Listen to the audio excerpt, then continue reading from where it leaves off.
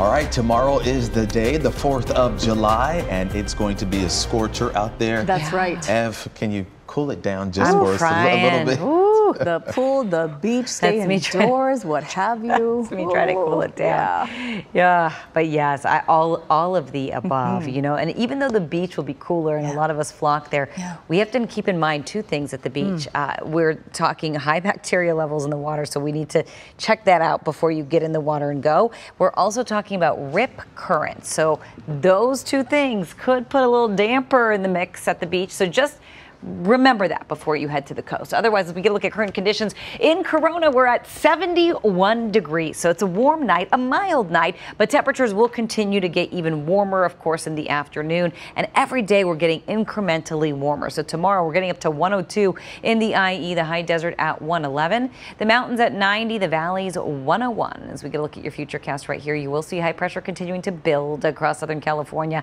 and it's going to build, build, and build. I mean, that means temperatures will continue to stay warm, conditions dry through the weekend and even through next week. It's not until midweek next week where we start to actually feel a little bit of a difference in temperatures. For the basin in Orange County, temperatures in the 80s, 90s, and then 90s as we head into Tuesday. As we check out one more seven day forecast right here for the valleys, you'll see temps in the triple digits at least through Tuesday of next week. And we are getting just a little cooler by Wednesday. Checking out one more seven day forecast, you will see temps in the triple digits every single day of this week, this weekend, and early next week. By Wednesday, we're cooler, but by cooler, we're at 99 degrees, which is pretty tremendous.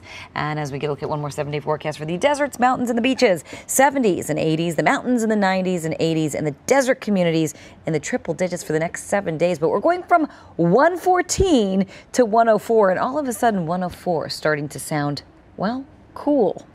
It's all relative, right? For the mountains, we're in the 90s and 80s, and the beaches in the 70s. Yes, we are expecting a little fog, but we're also looking at rip current potential and high levels of bacteria in the water for some beaches. So keep that in mind if you are planning on heading to the coast. But for now, we are expecting heat from the coast all the way to our desert communities, from the mountains to the sea. Back to you guys. All right, Evelyn, thank you so much. 104 doesn't sound so bad.